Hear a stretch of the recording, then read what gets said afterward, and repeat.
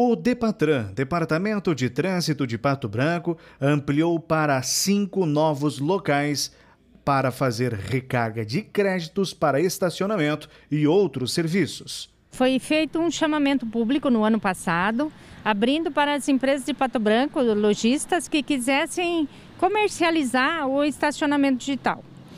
E nós tivemos cinco que se ofertaram para participar.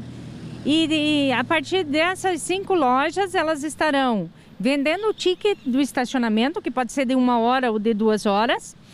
E, estarão também abastecendo os aplicativos, porque não é todo mundo que deixa um, um, um, cartão de crédito no aplicativo, porque tem certos receios, ou às vezes não tem o cartão de crédito e também regularizar aquelas notificações com equipamento igualzinhos dos nossos agentes na rua.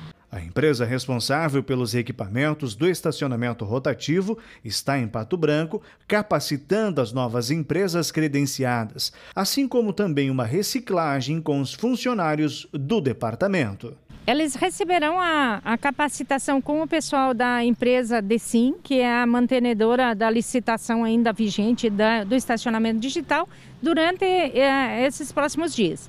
E a partir de segunda-feira já estarão aptas a fazer esse tipo de serviço para a população de Pato Branco. Os novos pontos estão identificados em locais estratégicos da cidade. As empresas receberão identificação através de totem e, e, e as empresas são cinco na cidade, muito bem distribuídas, que é a papelaria Prepel ali na Tocantins, esquina com a panificadora Cravo e Canela ali na Itacolomi, a farmácia Viver na Avenida Brasil e na, aqui na Caramuru nós vamos ter a panificadora, o Parcianelo Materiais Elétricos, que também vão estar aptos e receberão o treinamento.